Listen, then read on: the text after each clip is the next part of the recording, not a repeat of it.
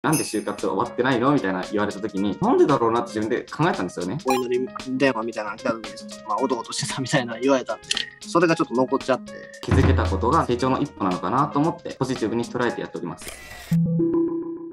どうもこんにちは春大アリーメンバーのバラマツです今回は22卒の就活生にお集まりいただきました。今の時期ならではの、ま、悩みとか不安っていうところをお互いにシェアしてもらったので一緒に前向きに頑張ろうっていう気持ちになってくれたら嬉しいです。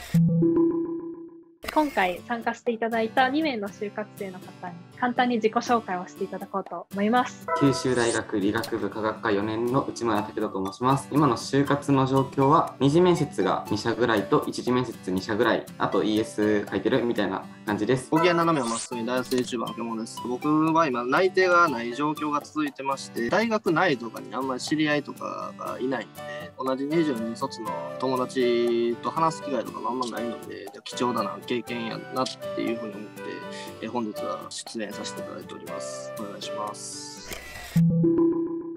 獣さんとかって YouTube でこう自分の考えを伝えるっていうことができるっていうのがまさに強みだと思うんですけどそういった獣さんの強みが生かされそうな会社を結構メインで受けられてるんですか？あ、でも受けてるのはあんまりそこは気にしなかったですね。その僕が学知科で言ってるのはそのサークルを立ち上げた、その YouTube の場所は言ってないんで、そことなかなかマッチする会社って例えばどんなとこあんのかなとかも思いし、なんか最初はほんまに営業とかを行ったのは、その周りが結構その営業をやってるとか営業に向けた人が多かったんで、単純な理由でそういうとこを選びました。でもね、僕最近はその営業はもうなんかやめとくかなみたいになってて、対面になるとものすごく緊張しちゃうんで、この間そのまあ営業の仕事の面接の人からお祈り電話みたいなの来た時に、まあおどおどしてたみたいな言われたんで、それがちょっと残っちゃって、対面でのコミュニケーションが自分下手なのかなっていうのがより強まったというか、まあ、そういうことがあったんで、改善できればなと思いました。内村君はどんなとこ行ってるんですか？自分は IT 業界だったりとか医療介護の業界だったりとかバラバラなんですよね最近は特に営業とか事業企画みたいなのやりたいっていうふうに言っていて、まあそれができる会社を自分が興味を持てる範囲内で受けるみたいな形をしててもともとはなんか人材業界っていうのを受けてて大きな軸として関わる人を笑顔にししたいとかポジティブにしたいってところは自分自身は変えてはいないんですけど事業企画がしたいとか営業がしたいっていう絞り方、まあ、そもそもしてなかったですし働く人を笑顔にしたいみたいななんかそういう場所を狭めて受けてたのでそれと今だと結構大きな差があるのかなというふうには思います。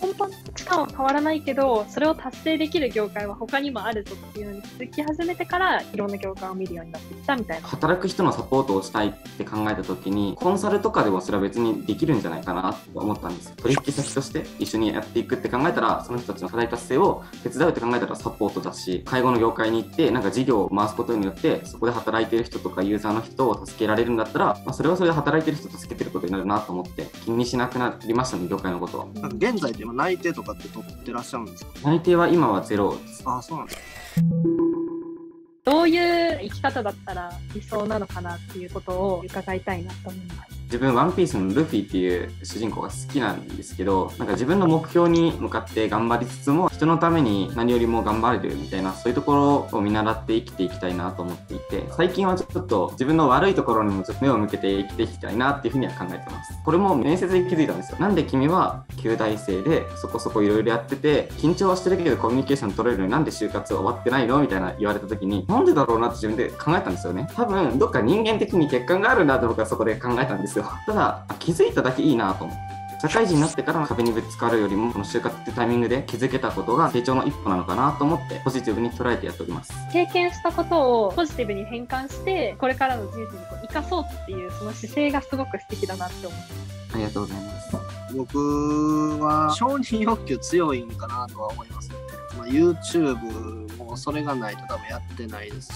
まあ僕いろいろあってちょっと昔引きこもりみたいなのやってたんで、その時期が多分一番多分人生でも辛かったんで、その時期からのチャレンジでも YouTube とかやってるんで、ちょっと先のあれはちょっと難しいですね。実はなんか共感するところがあって私も先こうなりたいっていうのを考えたんですけど究極今日自分がやりたいことができてる状態だったら私の人生はもう最高それが見つからないことに最初はすごい落ち込んでたんですけどホリエモンが言ってたんですけど、なかなかそんな思った通りに言ってる5年後なんてほぼほぼないみたいな話を聞いたんで、これ聞いてからは僕もそうなんだなっていうふうに。ちょっとでもまあその社会貢献とか、まあ、人の役に立てればいいかなと思いますね。どんな仕事にしろそうですよ最後にちょっと感想を伺いたいと思います。なかなかその僕が作ったサークルとかも最近集まったりとか、そういう交流とかもどんどん減ってきてる中で、まあ、面接じゃない感じで、同い年の方と座談会というか、雑談も踏まえながらいろいろ話させていただいたので、これもいい意味で視野が広がったかなっていうふうに。やっぱり先ほども獣さん言ってたように周りの大学の就活してる人たちと話す機会っていうのもなかなかないのでこういう場で他の就活生と話せるっていうのはすごくありがたいなっていうふうに思いますし8月9月が踏ん張り時っていうふうに言われてるのでまだ頑張っていこうかなっていうふうに思います人生は就活だけではないと思うんですけど、今向き合ってらっしゃる就活がうまくいくことを祈っております。お二人ともありがとうございました。ありがとうございました就活会議と旬ダイアリーで自己分析ツールを共同開発しました40問の質問で自分では知らない意外な性格が診断できます。就活生の皆さん概要欄からぜひ使ってみてください。ご視聴ありがとうございました。